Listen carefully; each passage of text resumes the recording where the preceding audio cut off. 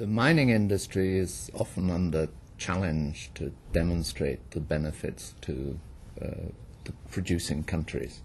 Uh, it's quite easy, of course, to, to demonstrate the need for, for minerals and metals in our modern societies, but people often criticize us on the grounds that this comes at a cost of, of environmental impact and social impact.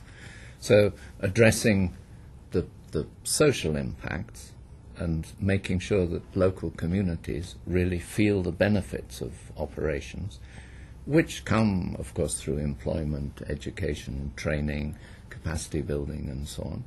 But the wider uh, desires of populations is, is very important to a license to operate in a country.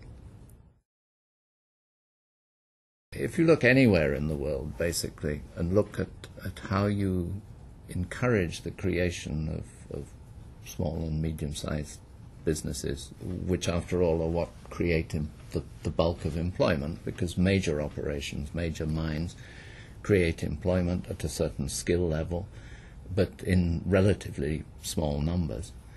Uh, the, the barriers, are, there are many barriers. Uh, first of all, the, the barrier is the first barrier is find your entrepreneur because you need somebody who has a, a, a belief, who wants to to do something. So you need, I think, techniques for going out and, and finding who actually has the ideas. Because one thing we're quite plain is that we in corporations do not have all the ideas. Mining companies do not know about small and medium-sized businesses. We learn, but but uh, that's not really our main occupation.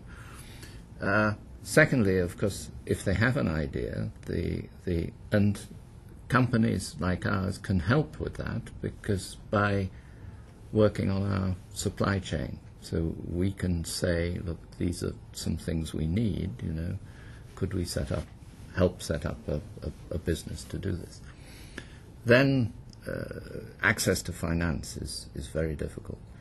Uh, and, and this is a very important issue, I think, because it's no good setting something up with preferential funding which builds a kind of dependency.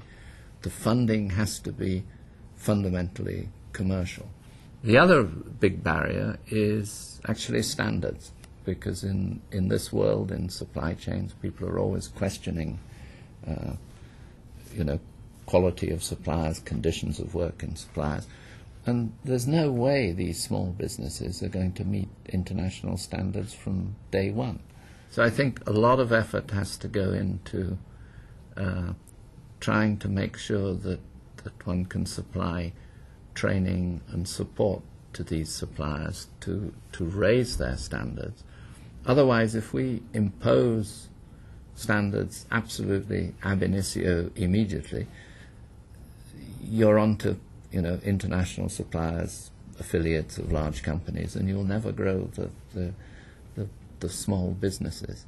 This is an uh, I think a, a real issue, and it requires a lot of, of thought how it should be addressed. South Africa, for example, Mondi have have done this initiative with with waste paper collection uh, so having entrepreneurs who collect the paper, which addresses an issue for us, it addresses our supply, but it creates a, a business for them. And if you travel around South Africa, very often you'll see these folk with a, a barrow or something. Quite often they employ other people, so they have a network of subcontractors, as it were. Uh, so that creation of the of the demand and providing a customer base and that customer base can then sometimes extend beyond the supply chain.